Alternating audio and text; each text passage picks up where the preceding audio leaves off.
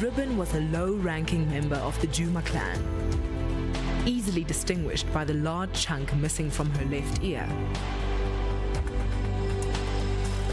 Hyena clans are led by a matriarch, with all subordinate members falling below in the chain of command.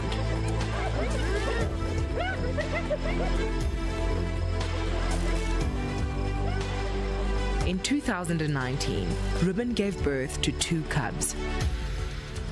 Taking their cue from their mother, the cubs were destined for a life at the lower end of the ranking, giving up their meals and accepting bullying.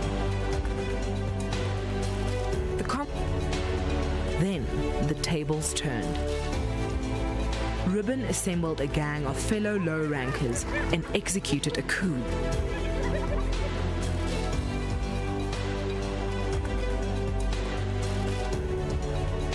Toppling the current matriarch, Corky, and taking the crown.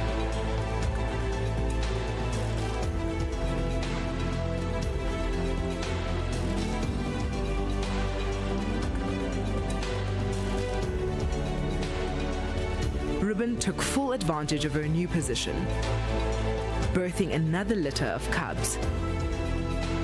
These two will enjoy the advantages of the upper echelons of the clan. So too will Ribbon's older cub, Ntima. Having taken her family to the top, Ribbon is sitting pretty as the new matriarch of the Juma clan.